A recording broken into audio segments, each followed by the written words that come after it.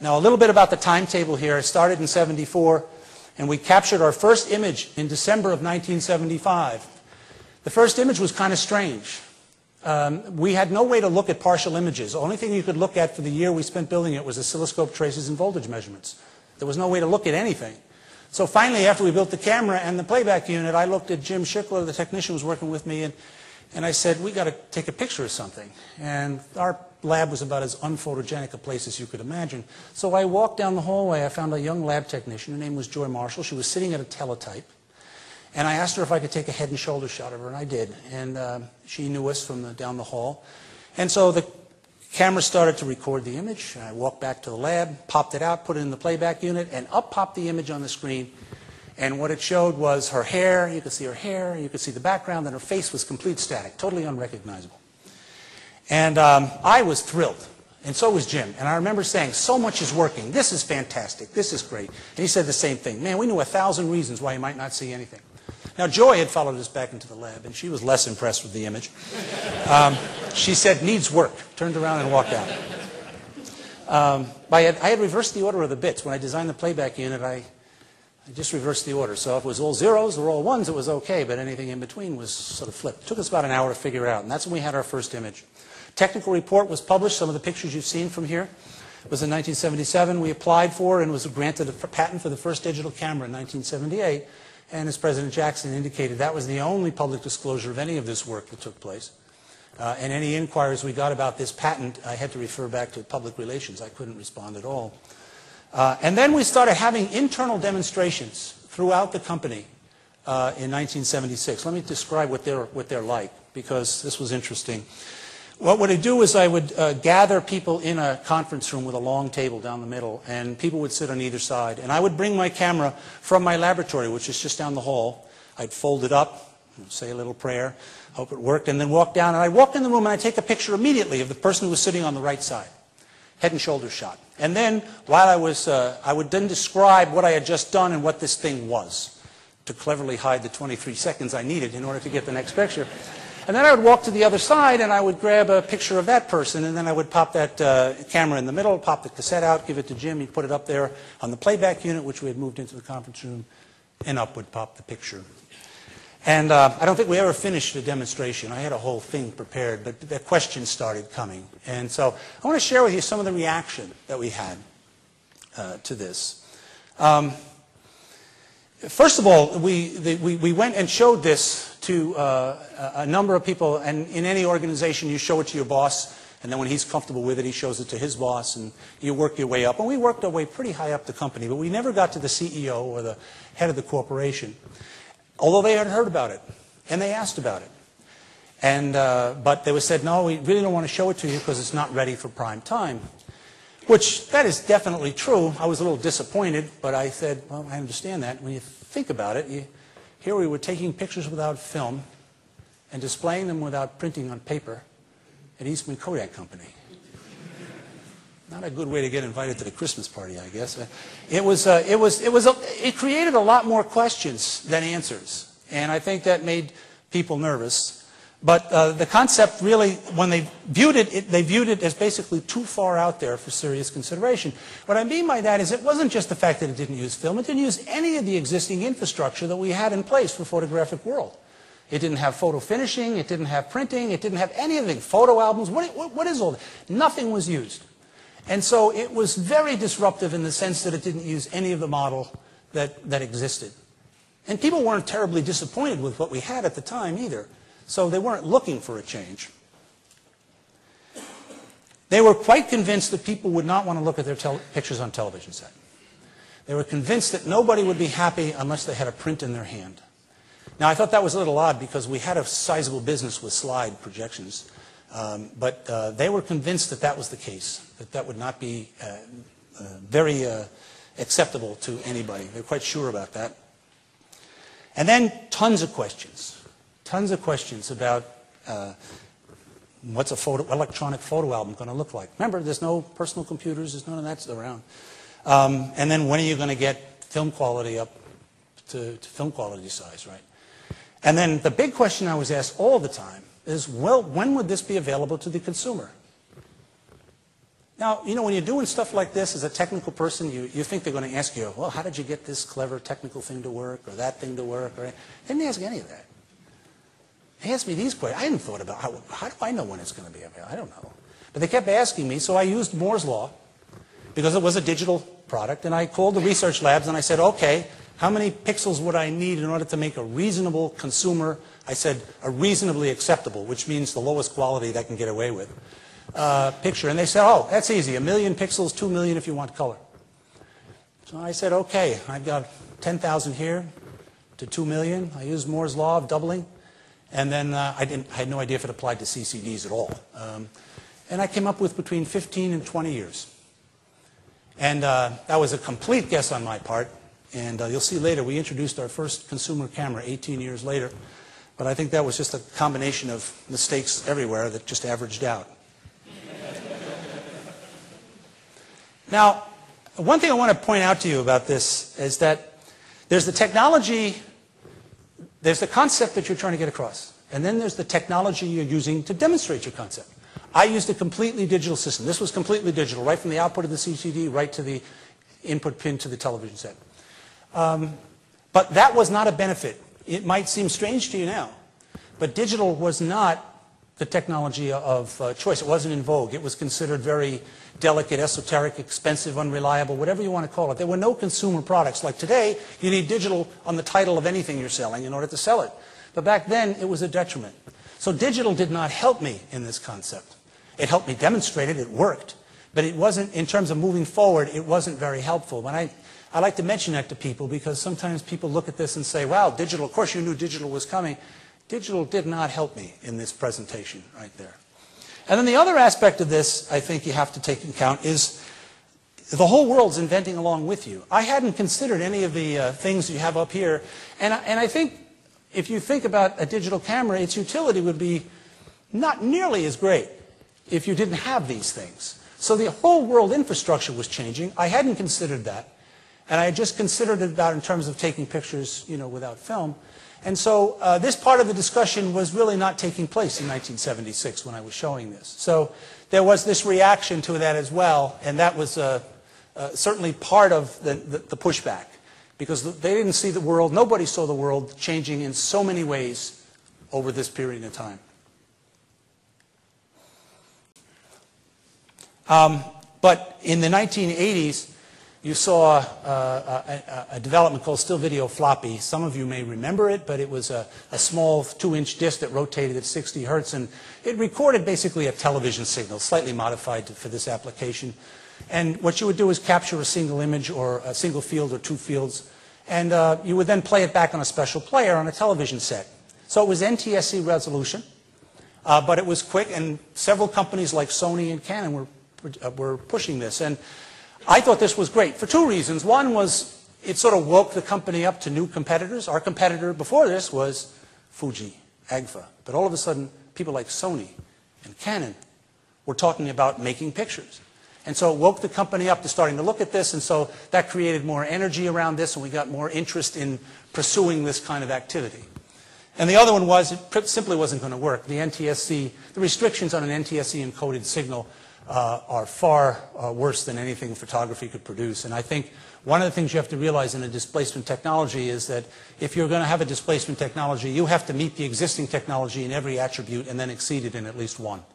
You can't ask a public to accept something less on one aspect to get something better on the new one.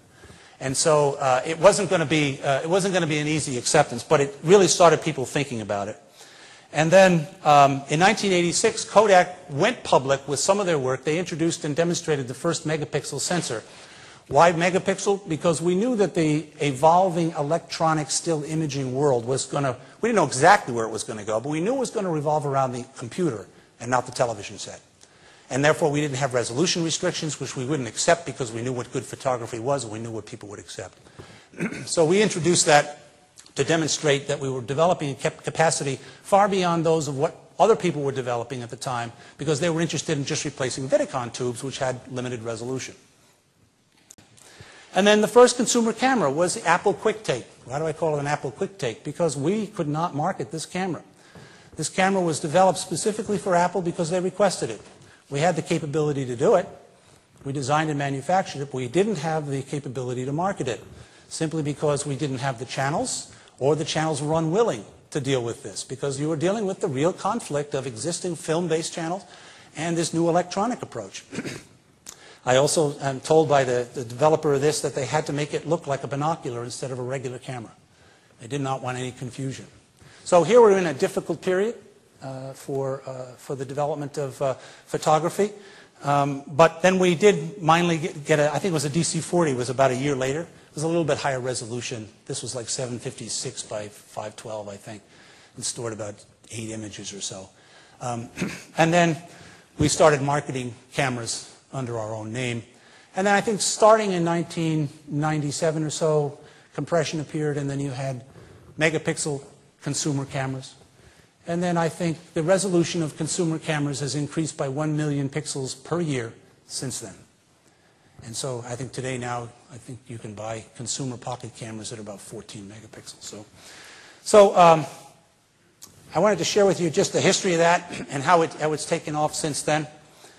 And um, I just wanted to share with you some observations. Um, because one of the interesting things about being on this journey is I had a really a front row seat to a major technological discontinuity and how it uh, affected an entire industry, a company, the people around me, the people I work with. And, um, and I was lucky to be in some way involved with this over that whole period of time. And I learned a couple things, and I thought this would be a great opportunity to share some of this stuff. Uh, so First, realizing that most of us don't work in startup companies. We work in established organizations, organizations that are proud of what they do and probably aren't looking for something too dramatic a change. And uh, engineers, basically, I think, are change agents. That's why you're here. Want to do something new. You want to do something great. Well, change, the engineers are usually at the center of these technological discontinuities, and unfortunately, often don't survive them very well. And so I thought I'd spend some time, you know, as one engineer to another, um, sharing some learnings around how to best survive proposing disruptive innovation within inside your organization. and um, the first thing I want to talk about is culture.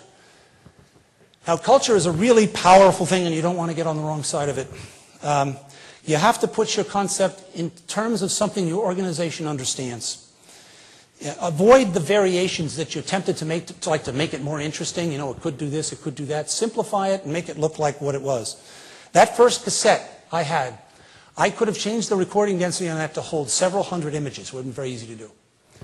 I elected to record 30 images. Why 30? Because it's between 24 and 36. It allowed people to get comfortable with this concept. If I had put a couple of hundred images on there, that would have been another interesting aspect of this concept. But it would have, because we had no personal computers, it would have further distanced the concept from the culture that I was in. So I think what you want to do is keep your secondary advantages in the wing and keep it on a familiar plane and just go with the essential elements of it. I, I would say do not uh, challenge your company's culture. Use it as best you can. Next thing here is, is friends. I, I, really do think people like innovators. They just don't like being seen with them. Um, And I think the reason your, your, um, your private support will be greater than your public support has to do with our education. I think we, we are ingrained to think that we have to provide answers. We're paid to provide answers. We're scored on providing answers. And innovation is about generating good questions. You may not know the answers to the question, but as lofty as that sounds, people are not comfortable uh, with this stuff uh, even if they're good questions, they're not comfortable just having a question hang out there. Now, I had no basis for uh, arguing with the concept that they had said that consumers would not want to view their um, photos on a TV. I really didn't have an answer to that. And I, so I couldn't counter it. I found myself saying, you know, I don't know the answer to the question, but please keep listening to my idea anyway. It's uncomfortable for innovators, and it's doubly uncomfortable for your friends. So you have to expect that. In public relations, any endeavor that involves change is an exercise in public relations, and the average engineer has no background in this art and, in many cases, has little regard for it. Um, remember, that's a mistake because you're trying to get across a message to a skeptical audience. Um, You have to pay attention to what they're sensitive to. Classic example of what not to do. You know how I uh, had those meetings where I invited those people to see that camp? You know what I entitled those meetings? Filmless photography. Bad choice. you know, given the audience, you know? Um, so you have to think about things like that. So two things here, two things about this. One, be honest about your idea's shortcomings. There'll be plenty of people that'll tell you all about why it won't work. Don't try to minimize it. Don't try to defend it. Just say, yep, it won't do that. Yep, I have that question. Yep, go ahead. Keep doing that. And then the second thing is never discount or diminish the present technology or approach that you might be displacing. There are many reasons not to do this, but the one I want to highlight to you is that if you discount the present approach, you run the risk of being the object of challenge instead of your idea. Your motivations get challenged instead of the idea of the object. And that's never a good place to be. So be wary of that. And roadblocks. I have roadblocks are temporary. It seems every organization seems to always have a natural desire to find all the reasons why a new idea won't work. I think we have built in no organizations inside of our, our, our structures. Um, and this goes for whether it's technology or organizational or financial ideas. Uh, the limitations always seem to come and get they never never ending in terms of suggesting. So, and you have to realize that often these are informed opinions of well-meaning, highly skilled experts uh, in the field. So it's important to listen to them, okay? And it's just as important to imagine that an answer can be found, okay? Perceived roadblocks are exploded every day. I don't have time here to tell you all the reasons I had over the last 35 years why that digital camera that's in your pocket or purse right now would never exist. When faced with a roadblock you can't do anything about, just imagine that it's gone and get on with your work. Remember, you don't have to invent everything. And then I call, finally I call these the three Ps. These are the things that have to do with person, personal interrelationships. You know, the first thing anybody sees about an idea is you. How you relate as a person, your concept, determines kind of its initial reaction. So I have here patience. Remember that describing for the first time, you're going to get pushback. We often bemoan the fact that we clearly explain what this idea is, and they just don't get it. Remember, you had the luxury of thinking about this idea for months or years, and they're just getting it for the first time. It comes from being comfortable with the present state, and they're heavily invested in it. You have to expect that. So be patient with the resistance and get comfortable with the questions. It's a sure sign you're being heard. Persuasion. And engineers are not good at this as a group. You know, when we, when we, don't, we don't get a good re response to something, well, we just tell it to them again, this time only a little bit louder, you know. Um, it's about listening to the other person and finding a place for the concept to support their hopes and their dreams. All right? Persuasion is about reason and emotion. Emotion. There's a, there's a word engineers really hate. uh, let's call it imagination or intuition, okay? Um, but the early stages of an idea, you don't have enough data to use logic alone. You need to engender faith in an idea instill curiosity in the concept, and that requires you to, lead, to, to want to lead others to want to take a chance. You have to try this. This really can be fun. Oh, sorry, let me go back. I have one more here.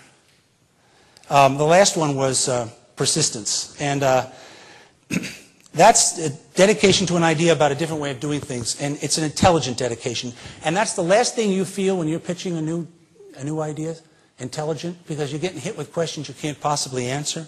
So it's a strange way to describe it. But I'm suggesting your dedication be tempered by the thoughtful consideration of these questions.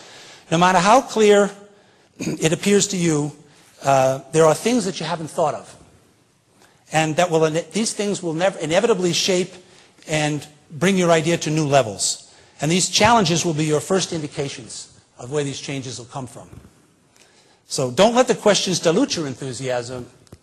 Use them to fuel it by testing and refining your vision. So, just some observations from a personal side about innovation inside of established companies. I want to end my talk, and all talks have to end with a story, so I want to tell you one. And it has to do with when I was uh, on a tour in 2005, I believe, I was in China, and they asked me to go over and talk about the first digital camera because there was a lot of interest in this. They have a lot of interest in history there. And uh, I was there, and uh, I was doing a lot of interviews. Um, in China, they do interviews. They bring the press in, and you sit at a table, and they ask you questions, and then the press goes out, and another one set comes in, and this goes on all day. And um, during one of the breaks, uh, I had brought with me one of the cassettes that I had taken some of the first digital pictures with me. And it was sitting there on the table. And then, as I sat between the breaks, there was this camera we were introducing at the time. Called the EasyShare 1. It was a marvelous device. It was a Wi-Fi connected camera with 6 megapixels. It had a, about a 256 megabytes of internal memory. It had a nice swivel uh, LCD on the back. It was really quite, quite something. And uh, we were introducing that camera, and they were sitting there, and I, I noticed they were about the same size. And uh, so I, I had a thought. And it has to do with engineers. It's an old expression that engineers always uh, overestimate what they can do in five years, and they underestimate what they can do in 20. And I think I want to add to that, they can't imagine what they can do in 30 years. So, thank you very much.